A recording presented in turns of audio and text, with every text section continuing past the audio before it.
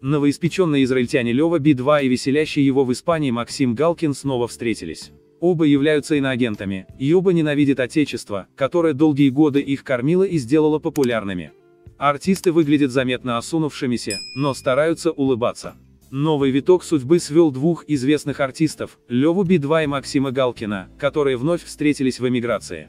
Оба музыканта являются иноагентами России, и оба, по некоторым данным, испытывают негативные чувства к своей родине, которая когда-то была их опорой и подарила им славу.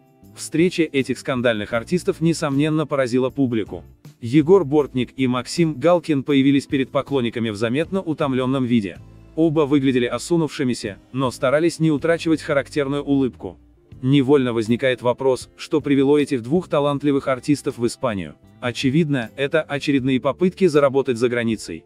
Ранее сообщалось, что Алла Пугачева назвала эмиграцию с Максимом Галкиным голожопингом, а жители Израиля публично осадили Максима Галкина.